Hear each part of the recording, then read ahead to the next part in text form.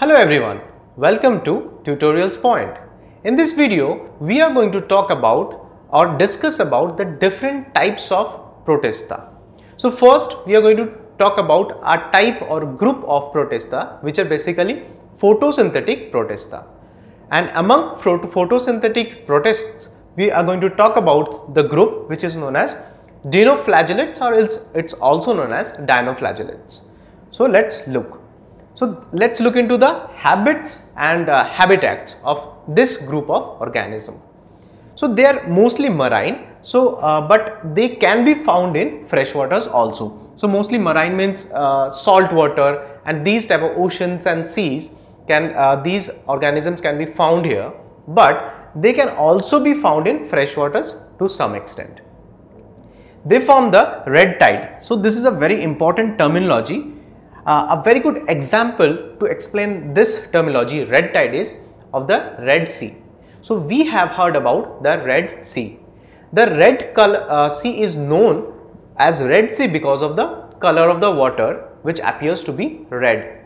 This is because of the presence of red colored dinoflagellates. So this red colored dinoflagellates they give uh, appearance of reddish water in case of this Red Sea. So hence this is known as the formation of red tide.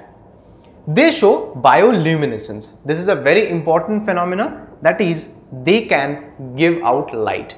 Bioluminescent means the uh, phenomena of giving out light. So these dinoflagellates they can emit light. They store food in the form of two types starch and oil. So their storage material or storage material for food is starch and oils. So here you can see a diagrammatic representation of dinoflagellates. Now let's look into the basic structure of these dinoflagellates.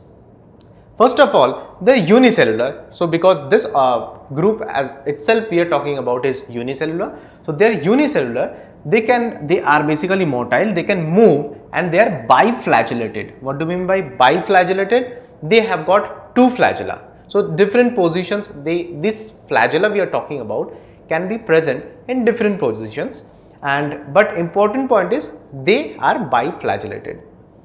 Now these uh, uh, cells of the dinoflagellates they are covered with theca or lorica. So this is basically a very rigid covering uh, on the around the cells. So this is known as theca or lorica.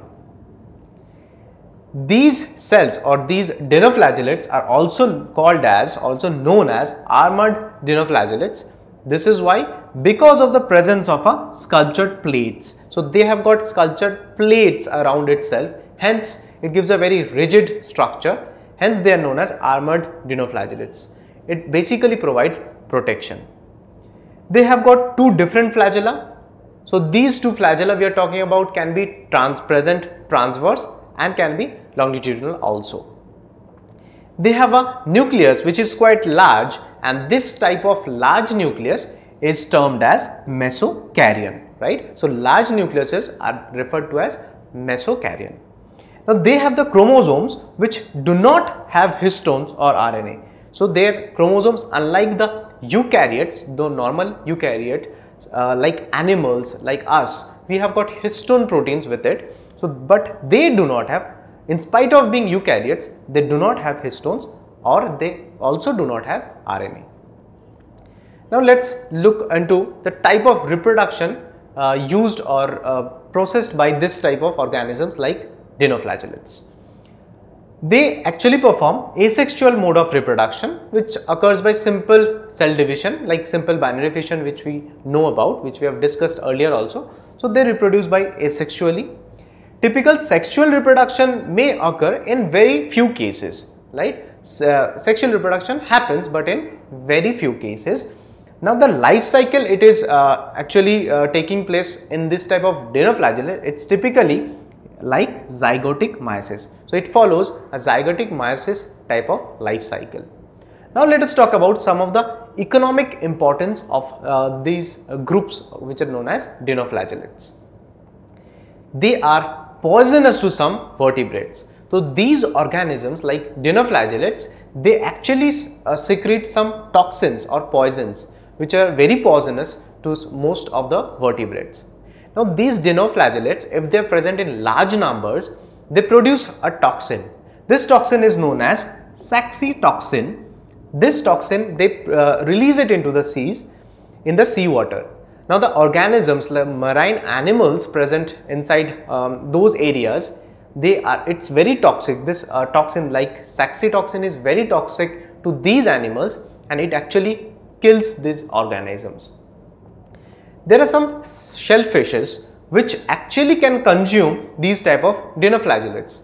They do not have proper effect uh, in these shellfishes but if these shellfishes which have actually fed on these dinoflagellates is consumed by us like if it is consumed by man it may cause a disorder it may cause a disease which is known as paralytic shellfish poisoning it is known as PSP.